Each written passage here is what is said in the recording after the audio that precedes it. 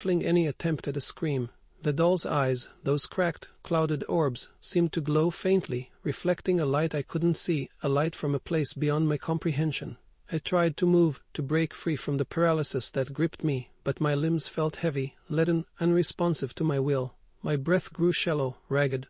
The whisper returned, a rasping murmur that seemed to claw at my sanity, a voice both ancient and impossibly close.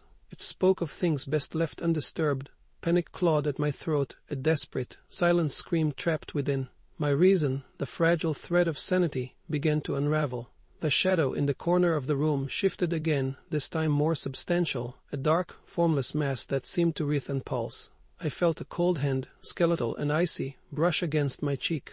My blood ran cold, my heart a frantic drum against my ribs. The pressure on my chest intensified, a crushing weight that threatened to crush the life from my lungs.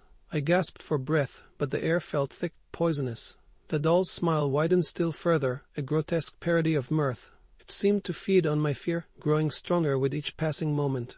The attic floorboards groaned under a weight I couldn't see, a presence that filled the room with a palpable sense of malice. A chilling gust of wind, though no window was open, swept through the attic, extinguishing the last sliver of moonlight. Complete darkness enveloped me.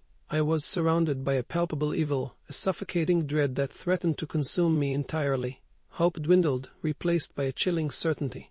The silence was broken only by my ragged breathing and the faint, rhythmic creaking of the ancient manor, a mournful dirge for my fading sanity.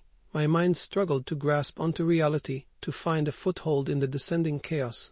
I was lost, adrift in a sea of terror. A guttural chuckle, low and chilling, echoed through the darkness. It was the sound of something ancient, something malevolent, something undeniably close. What started as a guttural chuckle, low and chilling, transformed into a blood-curdling